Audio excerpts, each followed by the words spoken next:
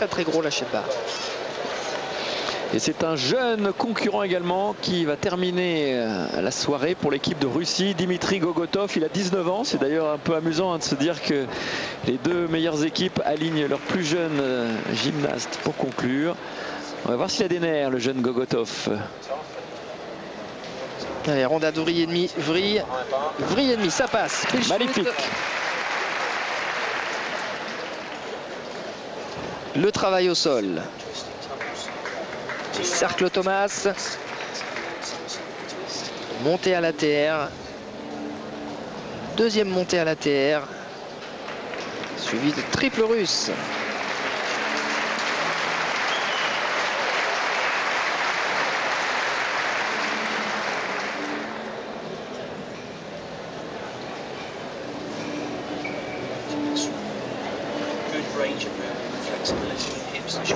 Rondade, salto arrière, demi-tour.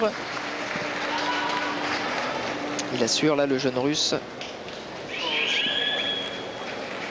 Allez, la sortie, rondade de flip, fouline groupée. Ah oui, c'est très très beau. Très très beau ce qu'a fait Gogotov. Il termine sur une très très bonne note. La prestation d'ensemble de l'équipe de Russie. Un bisou sur la bouche, mais sans doute pas de titre pour la Russie. On va sortir les calculettes. La Chine, on attend la note de Zou. 14 600, si je vois bien.